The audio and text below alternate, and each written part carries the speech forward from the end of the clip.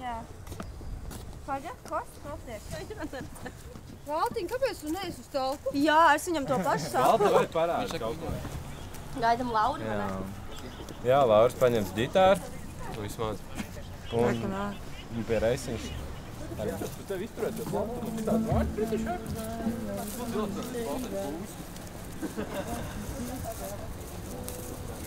Aiz priekšā, iekšā.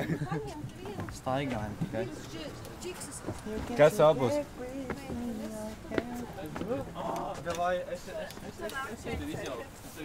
Un mēs dziedam. Kurš, skyscraper māk? Nē, latviski dziedam. Labi. Kuru? Bet, kad gaja virs jūras lido, tupsītis nosala, kad bija pliks. Tumšo ūdeņu vidū, nezinu vārdus tālāk. Kā tu zini dziesmu? Es nezinu, es nespēlēju ģitāru. Tas skaidrs. Katru reizi ejot talkās, es pamanīju to, ka jaunieši, piemēram, nevienmēr grib iet kopā ar visiem talkotājiem. Viņi grib atrast tās savas vietas un tīrīt savas vietas. Un šogad uh, viņi pirmo reizi tā kā savas talkas vispār uzrīkoja ar savu iniciatīvu, ar savu vēlmi, nosakot vietu, laiku, kā arī izveidot gan afišu, gan viss, kas šeit ir šodien notiek, tas būtībā tā ir viņa iniciatīva.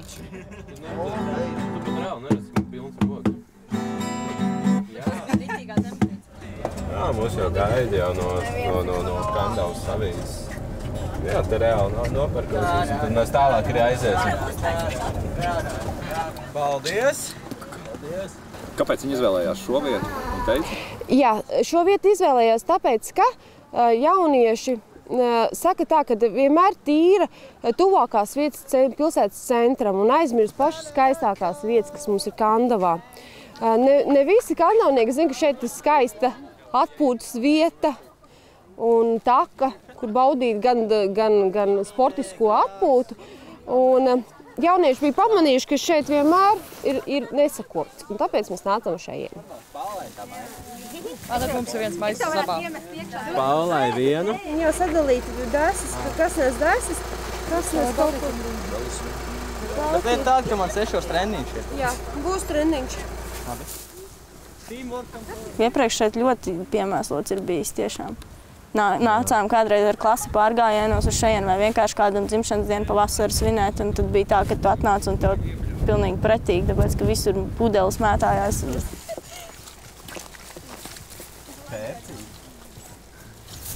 Jau tagad tādās lieldienās.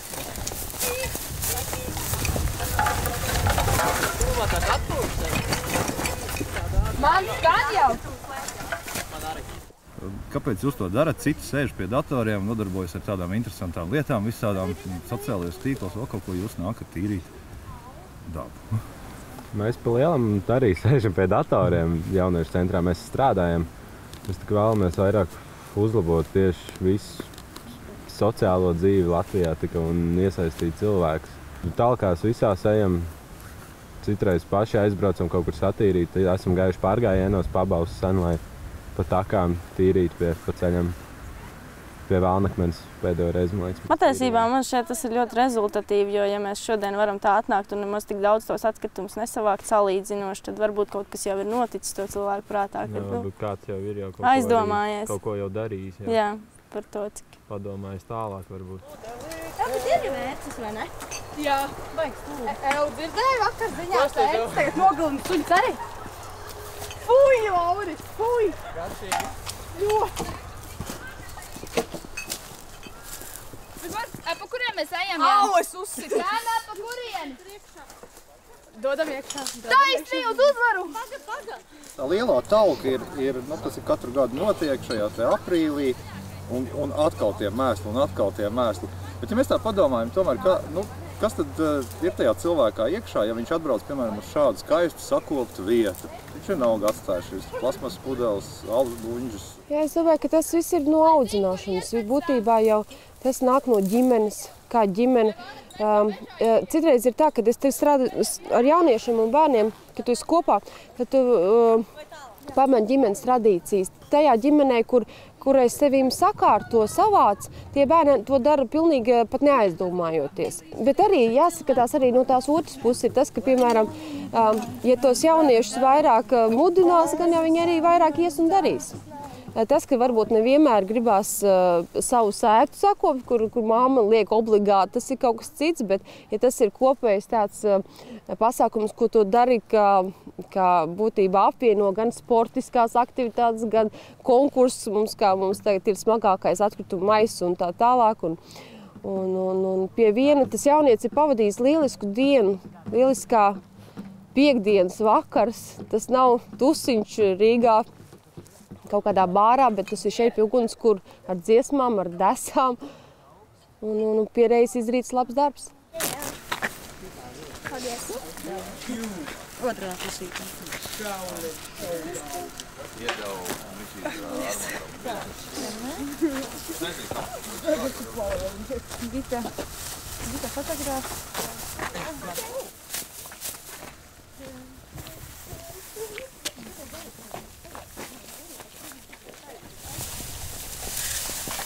Gita, Gita fotogrāf.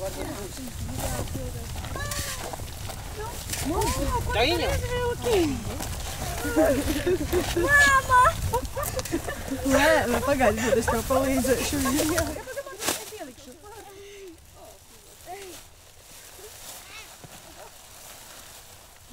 Viņa bija 1. un 4. klasē uz izrādi Reizeknē Gorā par cūkmeni, kur bija, bija Siventiņa un cūkmeni. Martīn, kas tā bija par izrādi?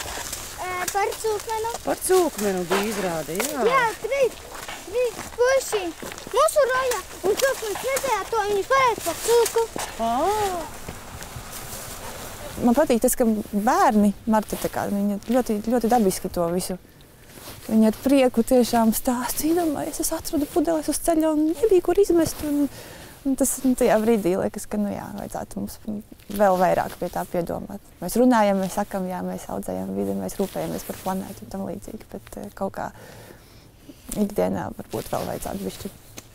Es uzskatu, ka cilvēkus vislabāk motivēt var ar eh, savu piemēru. Respektīvi, kā aktīvi ikdienā to darīt, savākt, un tad viņiem ir aktīvs, ko viņi dara, bet pēc tam, jā, varbūt tiešām vajag vai var kaut kādas filmas parādīt, diskusiju vakarus veidot, varbūt, bet uh, uz tiem arī nāk tie, kas ir aktīvi līdz ar to. Tie, kas par to nedomā, speciāli viņu, tur, viņu domas, es domāju, ka tā nevarētu izmainīt. Nu, Priekš kā viņam vākt, ja viņš redz, ka kāds cits to izdara. Nu, Ja viņš redz to piemēru. Nu, tas ir sirdsapziņas jautājums. Man nenāk prātā tādi normāli piemēri, ko mēs varētu darīt, lai uh, kā cilvēks pēkšņi sāk pats par to domāt, kāpēc nemest vai tam līdzīgi. Bet, uh, tas, tas kaut kā dabiski notiek. un Tad, nu, neiesim mēs tagad visiem stāstīt, ka tu saproti, cik tu esi slikts vai kāds cūka tu esi. Nu, nē. Tā nevajag vienkārši ar to ikdienā runāšanu, satiekot cilvēkus, runājot, teiksim, zemes stundu, ievērot arī mājās, arī ģimenē nedaudz tāda attieksme. Nu, kāpēc to vajag? Bet, nu, tas taču dara kaut ko labu, un es jūtu, ka tas, ka es par to runāju tik ļoti aizrautīgi, tad tas aiziet arī tālāk. Un tādā veidā, tādā veidā var iespējot, es domāju. Pagaid, tu ar grābekli varbūt. Kristēna nāc palīgā ar grābekli. Nevajag! To slāpīt cimdi jau palīdz. Nu, neteikt. Pārbūt. O, kur, kurkuļi. Ui. Cik daudz? Maisiņu? Citi dod man, citi ieskabu visu vēl. Citi. Kas? Lūdzu. Durvis izņemiet. Kā jūs paši vērtējat to, vai jums šeit apkārt ir tīra vai nav tīra? Nu, ikdienā to neredz. Tad, kad staigā apkārt, tad vienkārši viss tāds izskatās tāds, nu, tīrs. Nevar pamanīt tos attīrumus, nu, grāvī, tur tu paēji garām, neredzi neko. Nu, bet tad, kad tu vāc, viņi ir visur. Tagad redzēt, jūs savācāt arī tos divus maisus, un vēl tā kāds cilvēks tos visus, to visu ir nometis šeit. Jā, tie, kur nerūpējās par vidi vispār. Jau vienalga, kas notiek. ar- Jums šeit arī tādi cilvēki ir. Jā. Visur tādi ir. Tas ir ļoti slikti. Cik aktīvi jūs, piemēram, paši, eh, paši vācat šos te visus atkritumus? Dažreiz gadās, kad esam divi tādi, piemēram, mēs braukājam ar riteņiem, tur piemēram piestājam un tur ir daudz piemēru, mēs parasti celsam un izmetam izkastē. Bet pašiem ir gadījies tā, kaut reiz dzīvē, ka nomet un aiziet. Ja godīgi, jā. Nav gadījies. Visiem tā ir gadījies kaut kad. Jā, kaut kad. Nē. Viņa ir ieaugusi.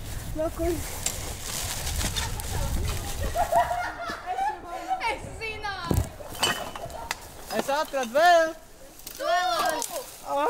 Tas nav godīgi! Mūsdienās viss ir godīgi, Saulī.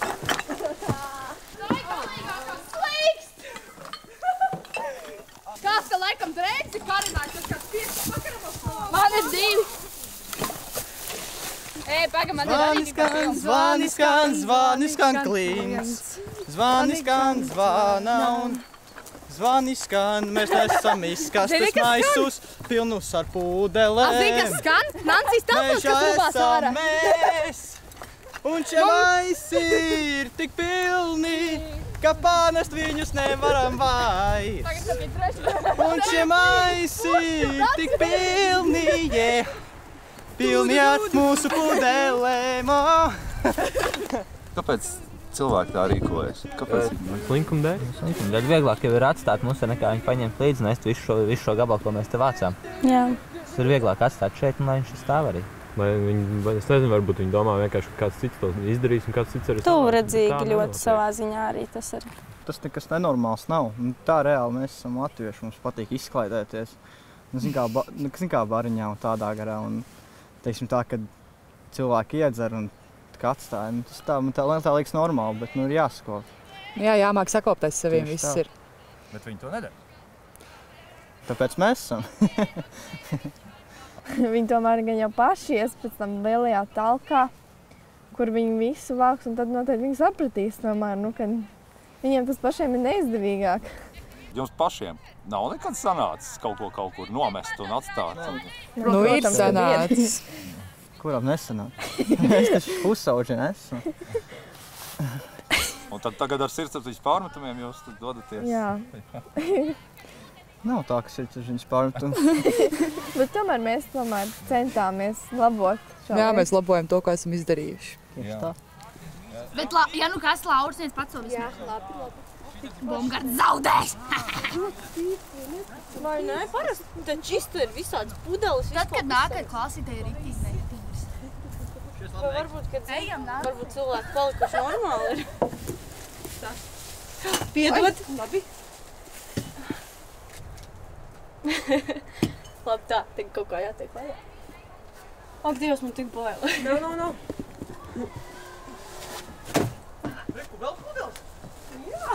Vajag jau paskatīties visur. Jā, debesīs arī. Eko vēl atradu. Redzējām to, ka viņi pilnīgi ar putām uz lopām skrien pakaļ, meklē šīs te pudeles. Sacenšas, kas viņiem būs galvā par to. Tam smagākā maisa. Bal... Balva būs labs vārds. jā, jā, un īstenībā ir tā, ka es, ja kādreiz man jauniešu centrā pa katru nieciņu vajadzēja dot diplomu un, un dot balvu, tad tagad mums balvā ir aplausi un labs vārds. Un, un būtībā cilvēkam nu, nevienmēr ir jādod konču par to, ka viņš ir kaut ko izdarījis labi. Nu, mēs aplaudēsim visu viņam. Uzgavilēsim. Malacis.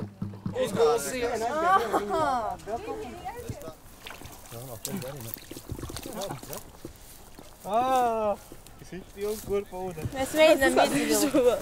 Vieglāk. Nu. Ah. Tas tiešām ir sāpīgi. Dai, Viņš ir ieaudzis. Divi. Vairāk. Trīs, divi, viens. Ej, man tad palīgo, simtī! Pasauksim traktoru talkas dienā. Un Kā jūs plānojat lielajā talkā? Nu, jūs kaut kādu pasākumu, taču būs skola noteikti, darbosies. Bet kā ir iedzīvotāji, tie arī tā kā iesaistīsies? Nu, jā, ir tā, ka nu, es gan teikšu, ka aktivitāte nav milzīga no iedzīvotāju puses parasti tajās telkās. Ir tā, ka sadā ir aicināti visi pagastu iedzīvotāji uz kaut kādu noteiktā vietā satikties, un tad jau visi, cik tur viņi ir, tik viņi sadalās un iet. Rogovs kā cilvēks rūpējas tomēr par apkārtējo vidi un skaidrs, ka kaut kur kaut kāds mēsls vien, var vienmēr Jā. atrasties. vai ne? Tad tomēr šie cilvēki rūpējās. Un Kā noraksturoja, kā ir par to, ka vai vai tās mājas ir sakoptas, vai teiksim, pašvaldība ir iegulta kaut kādas līdzekļus, lai, lai to vidi sakoptu. Kā jums šeit ir? Nu, cik es zinu, ir tie cilvēki, kuri regulāri strādā pie šīm lietām, respektīvi savāc, novāc un tam līdzīgi, bet uh, nav, nu, nav tā, ka met zemē, nav, tā nav. Tā kā īsti savākt kaut ko, nu, man liekas, tas kultūras līmenis diezgan tomēr ir augsts, lai vismaz tajās sabiedriskajās vietās nemestu zemē un izmestu miskastē. Um, cilvēki paši, nu, es teikšu arī, ka mājas ir apkoptas un par to Ragaukiešiem, man liekas, īpaši izteikti ir tas, kā mēs izskatāmies no malas. Respektīvi, jā, nu, jābūt skaisti. Tas ir ragauka. Vajag skaisti. Es zinu, ka kaut kad, nu, tas gan ir bijis sen atpakaļ, bija tāds, tāds konkurss par sakoptāko pagastu. Un tad ir bijis arī mums tas tituls. Un tad īpaši visi tur puķītas stāti, ja visi kaut ko pie mājām. Tālāk tur ir privāti mājas, tur redzēt, ka zin, par, par dārziem rūpējas un tam līdzīgi. Nav tā, ka tur, nezinu, ir, ir vieta, bet nav kur stādīt drīzāk vairs kā, viss ir sastādīts un nav vairs īsti kur izpausties. Nu, jā, man liekas, ka tas tā, domā pie tā vizuālā tēla un pie tīrības arī. Bērni mācās no tā, ko viņi redz, nevis no tā, ko viņiem saka. Respektīvi, ja tēvs nomet, tad bērns arī metīs. Ja tēvs padomās, ka mans bērns skatās un uh, iemetīs tajā brīdī miskastē. Nu, man liekas, lielisks piemērs arī, kā varētu ģimenēs ieviest uh, to tādā Vairāk, lai par to aizdomājas, ir atkritumu šķirošana. Jo tajā brīdī bērniem ir jāpaskaidro, kāpēc tas ir jādara. Nu, tā kā, nu, nepietiek ar to, ka nu, tāpēc, ka vajag, vai tāpēc, ka kāds teica. Tā jau ir tā problēma, ka bieži vien uh, bērnus audzina ar domu, tev vajag. Es pateicu, ka vajag savāc. Un viņam uzreiz rodas pretreakcija, kāpēc, kāpēc man jādara kaut kas, ko tu man pateici. Es neredzu tam jēgu. Savukārt, ja paskaidro, ka īpaši bērniem liekas, tas nostrādā, ka, ka tur no tā ir atkarīgs. Uh, kādu gaisu mēs elpojam un tam līdzīgi. Tam līdzīgi tad uh, viņi sāk aizdomāties un to darīt. Nu, respektīvi, audzināšanā, jā, atkal piemērs tikai. Mēs, Marta, uzzinājām to, ka tu esi ļoti cītīga uh, apkārtnes tīrītāja un, un tu iestājies un aicini arī citus jauniešus, lai viņi vāc visādas mēslus. Mm -hmm. Jā, tev, tev patīk to darīt? Jā, kad es eju uz skolu arī redzu mūsu uz dažies, gribas paņemt Nu, viņus izmet musuros, nu, miskastē. Gribās paņemt, vai tu tā arī izdari? Nu, gribās paņemt, tikai nevaru. Mums ko uzdrēbes vienmēr ir. Bet kā, ko tu domā par tiem cilvēkiem, kas, kas tos musurus samet? Viņi ir cūkas. Vai cūkojas atāk, un viņus varētu par cūkām. Varbūt tos cūkas var pārmācīt par cilvēkiem kaut kādā veidā. Nu, var. Tikai, ja viņi varētu saprast, kas tāda ir kas ir mīlestība, kas ir kārtība. Nevis būt cūkām un nemīlēt, reiz visiem lamāties. Jā. Marta to kamnu, viņa tukša?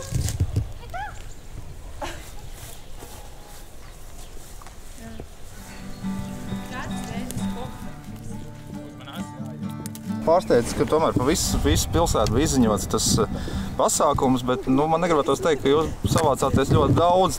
Šrobi jau ir, protams, bet nu. Nevienam jau nevar piespiest darīt kaut ko tādu. Tieši tā. Tas ir.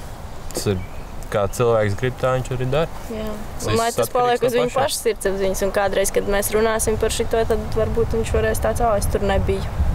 Mēs bijām, mums bija forši. Daži jaunieši dod priekšroku spēlītēm datoros un visādām citām izklaidēm, bet ne šādai. Viņiem tas liekas, ka tagad Dievs kā tas var būt un tā. Bet, nu. Pie kura bija maizīte? Tad, kad uh, cilvēks dara brīvprātīgi kaut kādas labas lietas, tad es uzskatu, ka viņiem ir, ka vismaz jāiedod paies, padzerties un, un, un, un, un, un, un pavēlti. Jo, uh, to mums finansē Kandavas novada izglītības pārvalde, protams, zem kā ir jauniešu centrs Nagla. Un, uh, un, un atbalsts uh, jauniešu pasākumiem šādiem ir vienmēr. Uh, protams, mēs ne, nepērkam dārgākās desas un dārgāku ūdeni, bet tās pamatlietas mēs nopērkam. Un, jo jaunietim pēc skolas var nebūt tāda kabatas nauda, viņš var viņu iztērēt, bet, bet man arī ļoti patīk tas, ka tad, kad visi kopā ēda vienu ēdienu, un visi dzer vienu ūdeni, un visi ēd vienas desas. Un, Un tas var būt tas arī tā sociālā vienlīdzība un tas prieks, un, un, un, un, un to, var, to var redzēt, man liekas, pie ugunskura, kad Kad neviens nesaka, tā es tādu mājās nēdu, vai, vai, vai, vai, vai visiem viss garšo, visi visu ēd, priecīgi, laimīgi. Viņu acīs ir prieks. Oi, Nē. paldies! Pagaidām, es nezinu, kā iznāca. Mm! Cik garšīgi! Nu, uzspēlēt kaut ko. Lauri! Lauri! Lauri! Lauri! Skies are crying. I am watching, catching teardrops in my hands. Vai jūs piederēsiet pie tiem, kas vienā brīdī var pateikt Kandavai čau un aizbraukt, piemēram, nezinu, uz Rīgu vai uz ārzemēm? Cilvēkam reāli viņš ir spiests aizbraukt tikai dēļ naudas. Ir tā daudz jauniešu. ir Piemēram, mēs. Lielākā daļa. Jā. Tīpaši no Kandavas. Aizbraukuši projām. Jā. Jā, ļoti daudz cilvēku. Strādāt. Mēs, piemēram, arī, man liekas, visi esam bijuši prom. Jā. Jā. Un Tāpat tās atgriezāmies. Jūs strādājāt tiešām? Jā. Es biju Anglijā. Es arī biju Anglijā. Tu Norvēģijā. Rīgā. Es biju Rīgā. Tuvākāk. Un atgriezāties. Jā. Jā. Jūs redzat to savu perspektīvu šeit, uz- un ka jūs varat būt noderīgi un arī pelnīt sev visu. Šeit jūt savu vietu un mājas. Tā sajūta, ka tu esi tajā vietā, kur tev jāatrodas. Un tad, kad tu aizbrauc uz turieni, tad varbūt pat savā ziņā es tur jutos lieka un tāda nevajadzīga. Un Tāpēc, ka tur ir reāli, tur ir visi tavi draugi, tev ir ģimene šeit, tev ir visi piederīgie šeit. Atbalstītāji, tie, kas Jā. tev vienmēr būs blakām. Un Ja tu reāli aizbrauc uz kādu citu vietu, tur tu nepazīsti nevienu, tev nav neviena.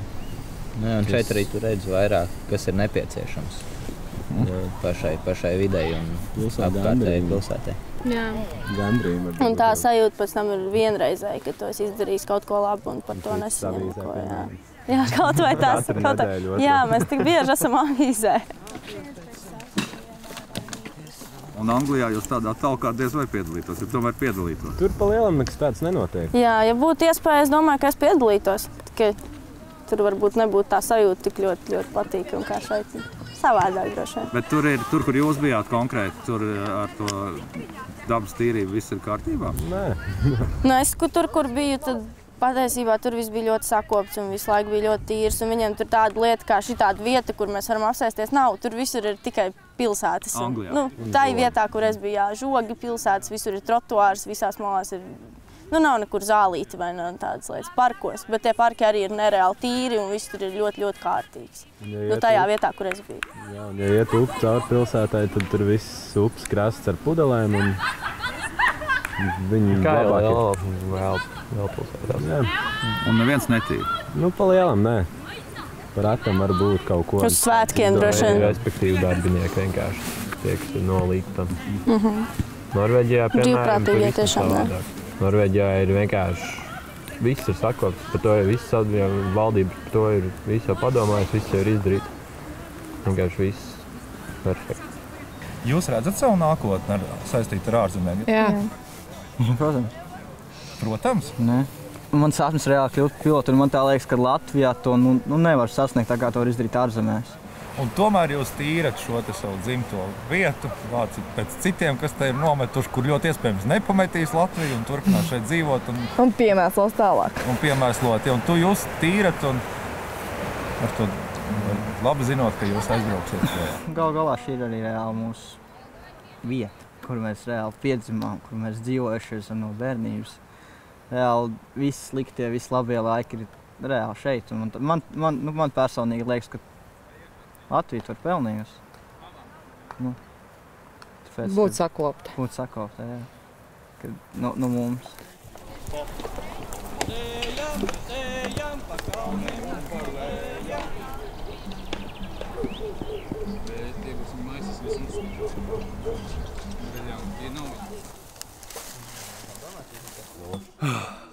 Darīts. Dubļi dara savu. Jā. Tie, kas ir tukšie maisi, nu, tos vai tagad pilns piekrāvēt. Nē, manējos. Jā. Vai jums ir ko padzerties? Nav. Nav. Ah, sēslīgi. Tā ir, ir jāpiekrāmē tad pilni tie maisi. Kāda ir cik? Normāli, smagi. Bijām aizgājuši vēl vienu gabaliņu. Jā, jā. Tur. Un Tagad vēl nesam smagos maisus ar stiklu. Ah, jā, jā, jā. Normāli nogurām. Tagad vēl viens atāl kalp. Galīgi maziņas. Bet kur ir tie maisi, kur tie jaunieši? Kur viņi tur, tur tie pirmie, Lauri! Nebija pirms Vai te te te te te Vienkārši visu laiku kopā. sveiciens, jā. Jā. Jā, visi. jā. Paldies, paldies Vai, īstenībā jums pašiem, īstenībā visiem. Tā, malači. Es nevaru, man sāp. Jā. Vismaz mēs ar Marku Ko tad sadurāmies. dodamies mājās? Ar Tiksimies mēs nākošajā telkā.